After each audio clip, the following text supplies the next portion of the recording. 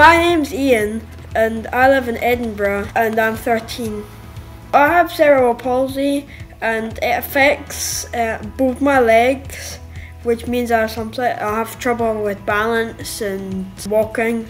Um, I was at a physio appointment, and the physio mentioned about this thing called frame running, so I thought I would give it a try. Frame running gives me stability, and it means I don't need to worry about my balance, and I get the feeling of, of freedom and competition, as well as like speed and it makes me just feel like everyone else. I can get up to some speed. I think, I think you would be surprised. it's a hidden physio workout for people, um, so they can enjoy it and do physio at the same time.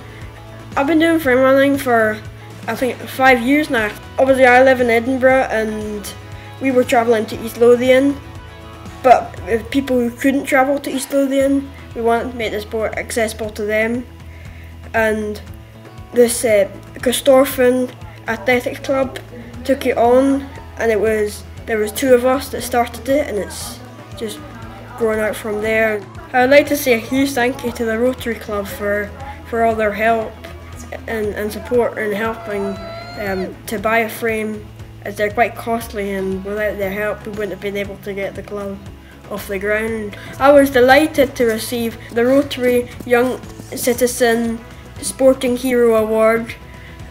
We set up this club and I never thought about being recognised. I hope that by winning this award that um, that'll raise the that raise the profile and publicity of the sport and get loads of other people involved and enjoying the fun of the frame.